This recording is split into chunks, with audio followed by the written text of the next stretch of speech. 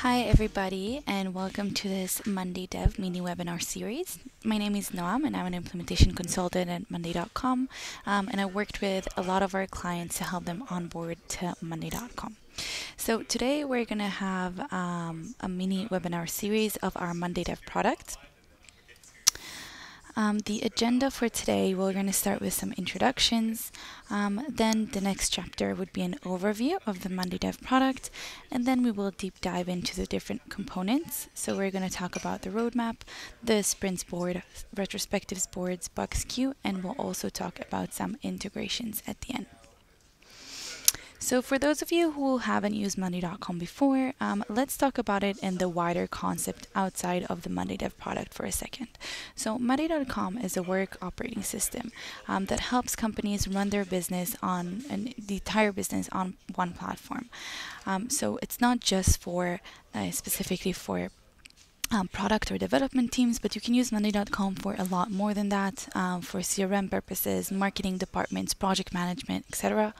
You'll also see that it is super customizable. So although we have some templates for you and we have a, a really good uh, solutions that you can start based on, you can always customize it to match your needs even further. Um, the reason why I'm talking about the work management is when you purchase the Monday Dev, you also get the work management um, and it's included.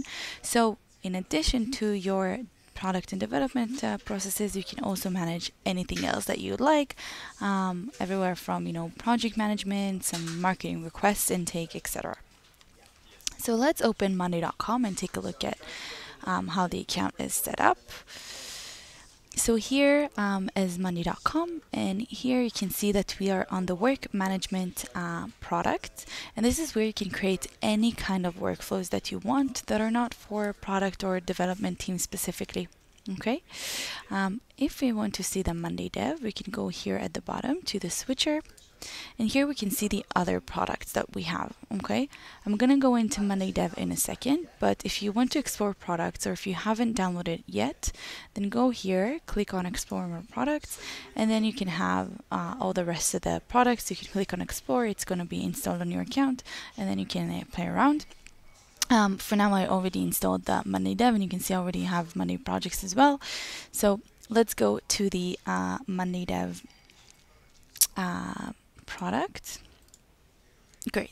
So welcome to Monday Dev. Here on the side, we can see that we have already templates that are downloaded for you with pre-defined uh, workflows.